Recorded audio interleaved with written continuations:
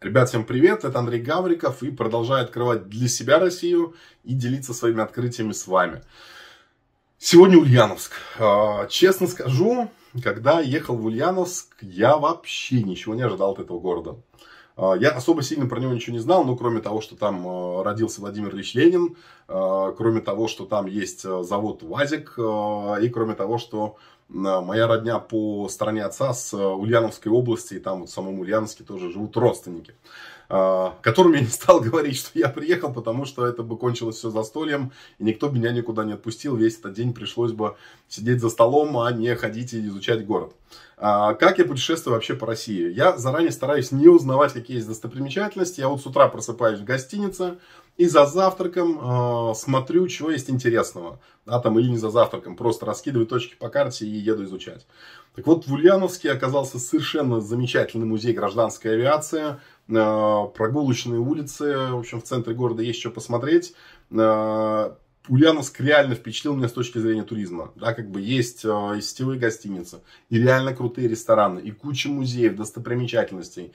И вот что меня еще поразило в Ульяновске, какой-то, ну блин, нереально добрый народ. Просто вот я не могу объяснить почему. То есть везде, в принципе, в России, где я путешествую в глубинке, э, и не в глубинке, как бы, да, там в городских центрах, а, ну, люди добрые, открытые, максимально позитивны. В принципе, как и в любой другой стране, где я ездил. А, но здесь они прямо какие-то совсем добрые-добрые. То есть я вот даже в своем посте в Нильзяграме а, сравнил их как с индусами. Вот когда я в Индии был, вот народ настолько же открытый, позитивный какой-то. В общем, клево. Ладно, давайте какое-то длинное вступление. Давайте вместе с вами отправимся сейчас в этот замечательный музей гражданской авиации, а потом прогуляемся по городу. Погнали! Всем привет с Ульяновска отоспался просто до упору. Так на массу даванул за всю рабочую неделю. Короче, в Ульяновске адски рекомендую Редисон. Отличная гостиница и очень недорогая для своего уровня. А напротив отличный ресторан, где можно поужинать гонзо. Готовят там стейки и все остальное прямо топчик. Сейчас жду такси и еду в музей гражданской авиации. Уникальный и один из самых больших в России или вообще в мире. Короче, на месте разберемся. На проходной, где касса, находятся макеты самолетов. Ан-24. Як-42 летал на нем.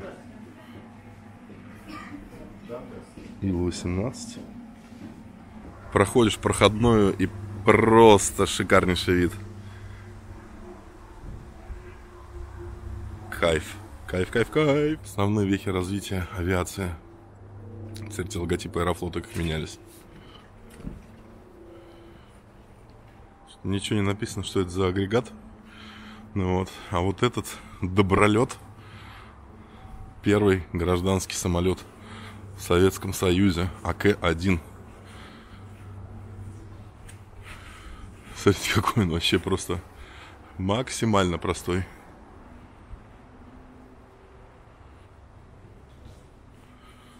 Просто красотища.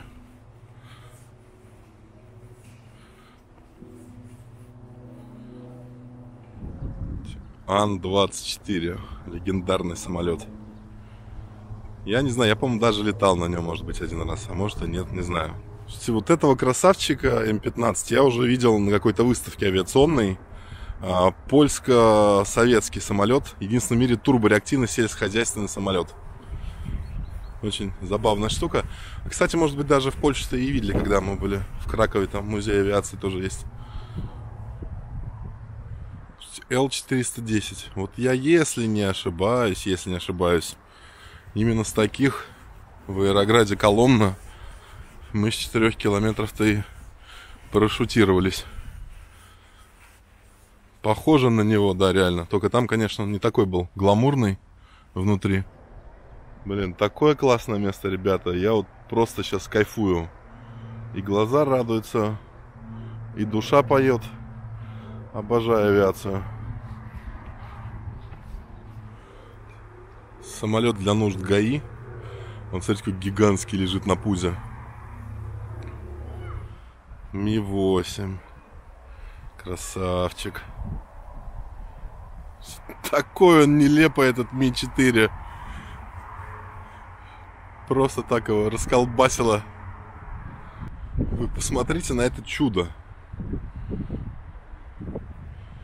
Это реально не вертолет, это какой-то, блин, кит. Вон на его фоне Ил-18 кажется вообще малышом. В общем, это Ми-6. И он просто офигенный, огромный, блин. Доставлял военную гражданскую технику. Диаметр винта 35 метров. Рекорд мира.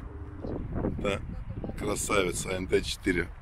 Авиарктика. Смотрите, вон у него полозья для того, чтобы, судя по всему, на лед приземляться. Блин, мне кажется, любому мальчишке надо здесь побывать, посмотреть на эту прелесть. И если ты еще не любишь небо, то здесь могут зародиться первые ростки этой любви. О, можно в Ту-124 зайти внутрь. Я еще, по-моему, летал на таком. Первый мой полет я совершил в три месяца от своего рождения. Из Минска к месту службы отца.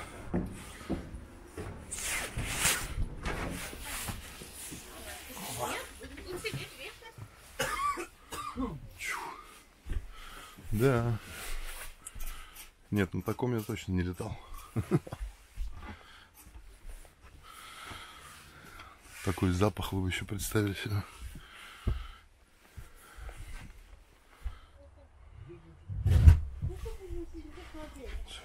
Умывальнички. VIP-столики.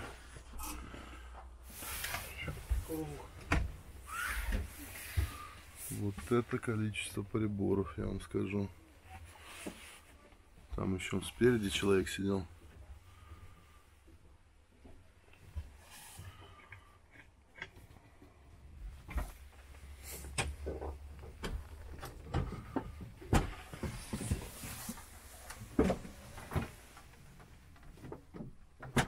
А это Ту-116.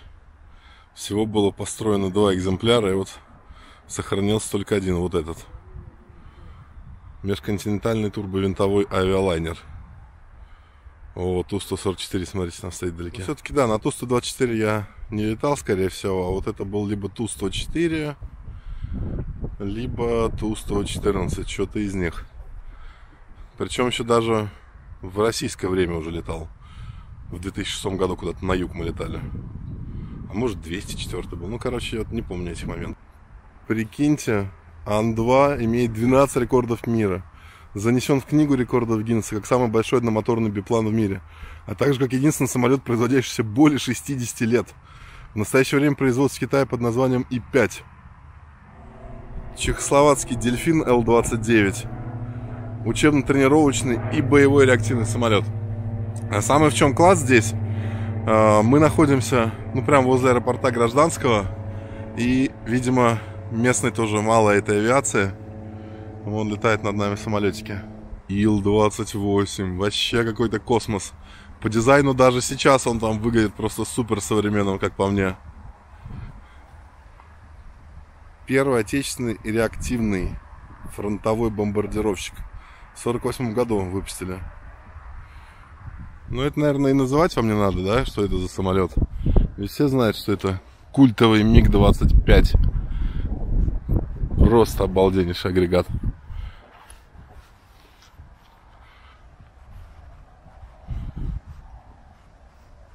Ну и для тех, кто забыл, как и я, Ту-144 это первый в мире сверхзвуковой пассажирский самолет. Первый полет опытно состоялся 31 декабря 1968 года. Эх, а я уже обрадовался. А вход-то тут воспрещен. Ну да ладно, посмотрим в турбины.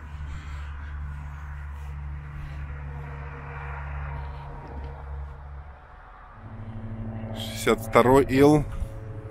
Вот там вдалеке 86 стоит гигант. Сейчас до него дойдем. Як-42. Вот на нем я, если не ошибаюсь, летал, летал... Саратов. В Сараве была такая авиакомпания. И в Ижевск, по-моему, такие летали тоже самолеты несколько лет назад еще. Но могу ошибаться. О, смотрите, 144 с этого ракурса какой кайфовишный. А это, короче, воздушная маршрутка, как я называю. Як-40. Летела на таком меньше недели назад с Вологды в Москву. На удивление, мягчайший взлет, мягчайшая посадка. Внутри, конечно, совок совком.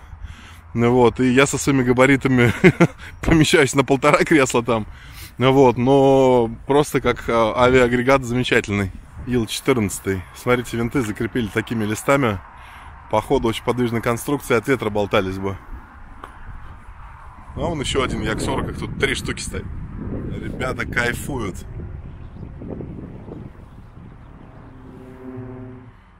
Ну, а это прямо вообще какой-то тоже гигант. Ил-86. Стоишь с ним рядом, как муравейчик. Приехал завтрак обедать. Здесь перерыт сейчас центр. Ну, не центр, вот эта улица. Молочный переулок, вообще название очень красивое. Вот и солнышко ко мне появилось. Хотя обещали дождь сегодня. В общем, будет здесь скоро свой Арбат. Тяжелый дом 19 века, там каждый второй дом, если не каждый первый такой. Честно скажу, не думал сюда ехать. Уже проезжал мимо, э, видел их, но все-таки расцветочка бодренькая. Это храм всех святых. Вот, находится на территории вот с такой красотищей. Спасо-Вознесенский собор. Свежепокрашенненькое все такое.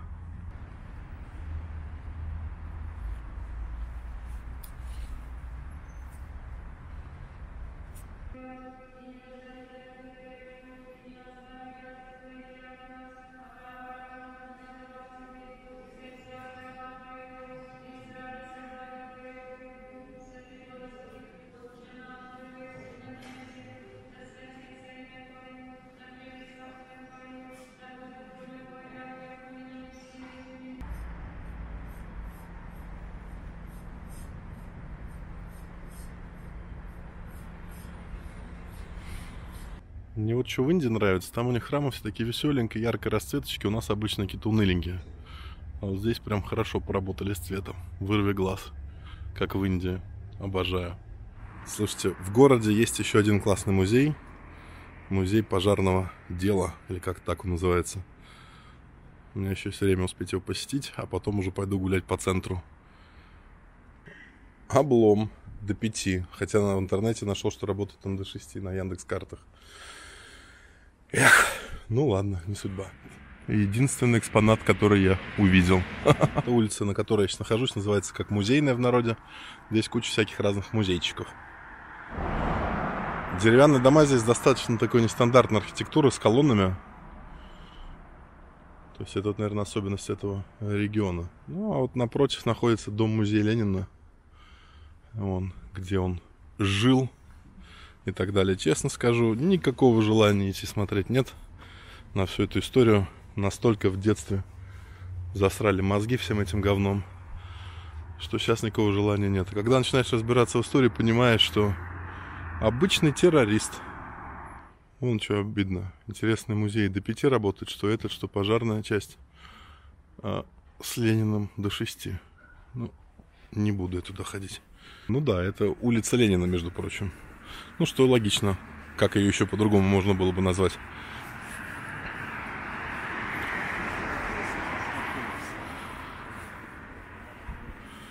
Здесь вот в детстве бегал, наверное, этот картавенький Вовочка.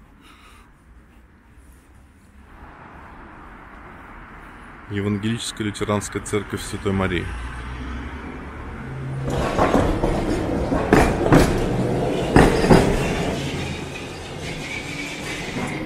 Смотрите, какая прелесть из дерева. Красота. Умели же строить. Усадьба подлежит охране и так далее. Но используется под офисы. Здесь адвокатская контора находится. Прикиньте.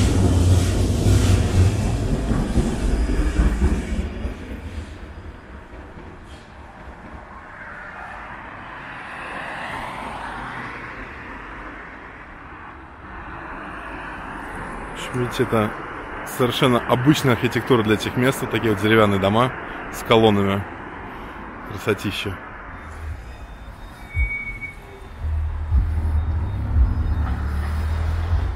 Дом-музей Гончарова. Огромный. Везет мне в последнее время находить вот эти вот цветуечки вьющиеся. То в Череповце видел, то сейчас здесь в Ульяновске Стандартный набор. Дом правительства. Перед ним огромная площадь. И тот, в честь которого назван город ну, с последним его названием. Так это был Симбирск, а до этого Синбирск. Смотрите, какой кайф. Деды играют в шахматы. В Череповце вот был на той неделе. Там в парке дети играли. Здесь вот пожилые отрываются. О, шашечки еще есть. Красота. Вот эта вот штука называется ветровой орган. Только по ходу ветра нет. И что-то он не работает. А, он там поотрывали все. Роды. Какая красота здесь.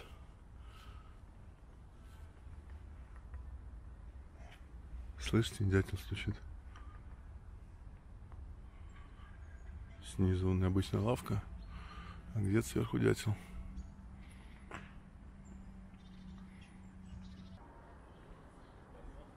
Смотрите, какая здесь широкая матушка Волга.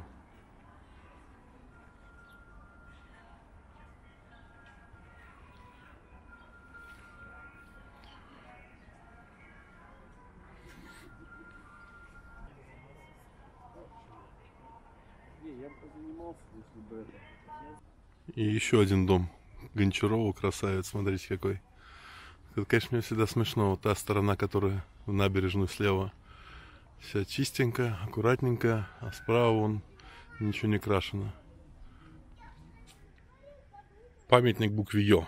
Впервые введена в обращение была Карамзиным в книге в 1797 году. И в сносочке было написано, что читать ее как ИО. Ну и с точкой О. Ё памятник основателю Симбирска Богдану Хитрова или Хитрова. Богдану Хитрову, наверное, хз. Все-таки вот это, судя по всему, главная площадь как-то она более живая.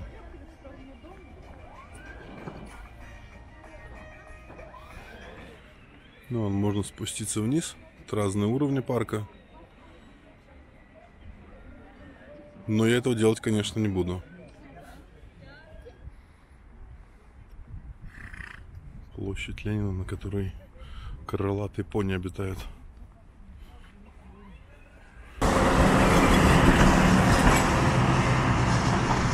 Ставлю Ульяновску твердую пятерку с точки зрения туризма. А это памятник местному камню. Называется он Симбирцит. Я так понимаю, в честь города Симбирска. А, ну да. В 1982 году вот так вот. Он очень похож на, как вы видите, янтарь. Но не янтарь. А вот такой вот камушек. И вот прямо в центре города стоят таблички, судя по всему, памятники архитектуры тоже. Вон один покосился чутка.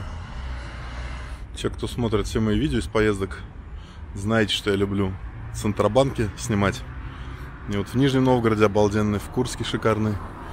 А здесь что-то такое непонятное совсем. Судя по всему, в 90-е строили что-то. Да, как всегда, нужны ваши комментарии, что понравилось, что не понравилось. Если вы с Ульяновска, пишите, э, все ли я как турист основной увидел или что-то пропустил, как вам мой взгляд на ваш город. Буду благодарен любой обратной связи. Э, все, будем прощаться, увидимся в следующих видео. Спасибо за ваше внимание, за ваше время. Спасибо, пока-пока, на связи и мирного неба над головой.